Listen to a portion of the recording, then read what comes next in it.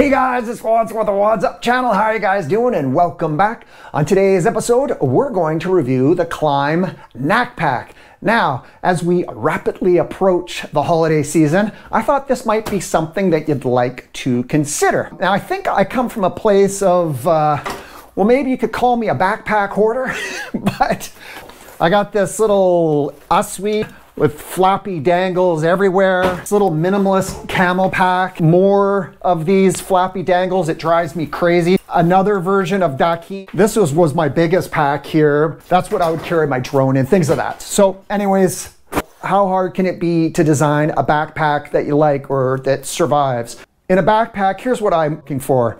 Something that's durable, a zipper that's strong and lasts. That's my pet peeve. Something that doesn't have a hip strap and clips and everywhere and it's comfortable. The fabric is durable, the straps are dependable and comfortable. And a storage system that makes sense. So I'm on the trail, I can find things quickly without having to, you know, take it off and get all irritated when I'm hot and everybody's waiting for you. you. You hate to be that guy. And maybe you just want to get a GoPro battery out. Maybe you just want to get a quick Clif Bar out. Maybe you just want to take a quick picture, but I don't want to take the pack off every flipping time, right? So those packs are really irritating for that, for me, right? So this is why one of the primary reasons why I like the Klim Nac Pack so much for ease of accessibility, for its durability, for its rugged design, and for its logical um, storage capacity or uh, organizational of all of its accessories. So let me dive in. So this is the Klim Pack, 13 liters. They're, you know, the funny thing with backpacks is they're never big enough or they're never small enough. Kind of like tank bags, in my opinion, right? Especially if you're trying to carry a drone like I do a lot of the time, um, and camera gear and batteries. So inside, there's lots of room there for your lunch and for maybe a spare shirt a first aid kit.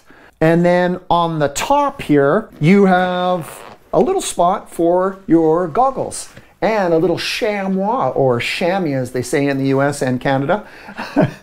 but that's nice. And it's got a little uh, hard case to it as well. So they're semi-protected in there and it's nice soft interior and a little strap to hold the goggles in place. This color, by the way, is referred to as an olive I kind of thought it's more of a camel olive and it's got some nice orange Klim advertising everywhere on it. So you got to be okay with the big K and but uh, I don't mind the styling. They have it in like five or six other colors as well. Moving down the pack, they have integrated into the back nice little intelligent tool storage system. These two clips, release it, the tool bag sits you slide it right in there. And these little clips here, they go through the straps on the tool bag. And that keeps it from bouncing out when you're just a ripping.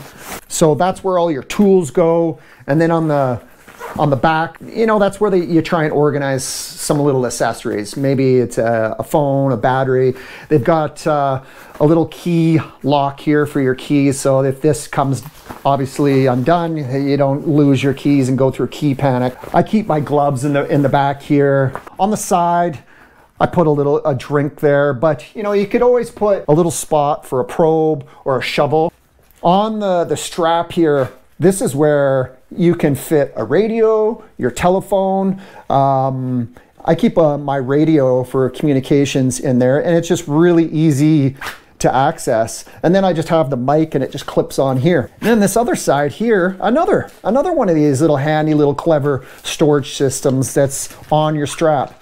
And for me, I keep all my GoPro batteries and I keep quick snacks. Check out this too, like in the straps here, vented padded strap, both that go up against your sternum or your breastbone, but also into your shoulders. Like check that out. The devil is in the details and they really, they really thought this pack through.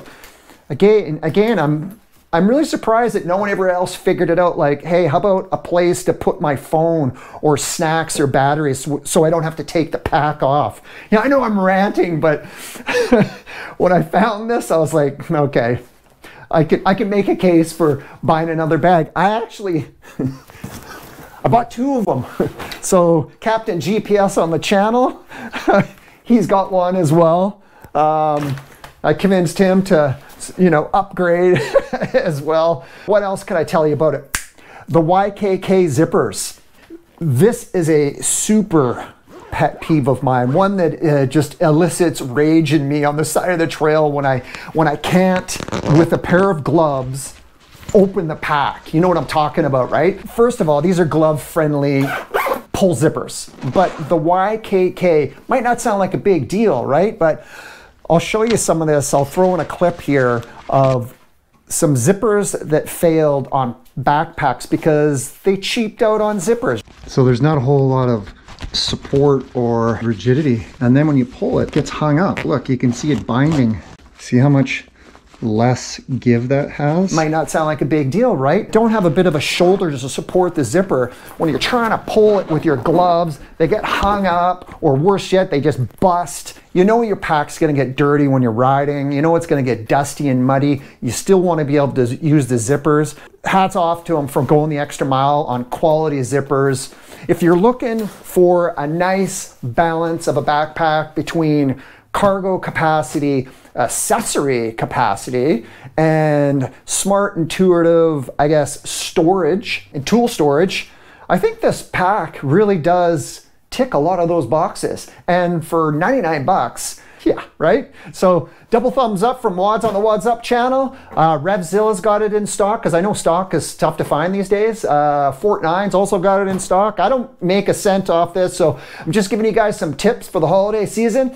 Uh, I hope you enjoyed the, the review. Let me know uh, what you ride with, and I hope you're doing well. Happy holidays. All right, talk to you later. Chickadee chow.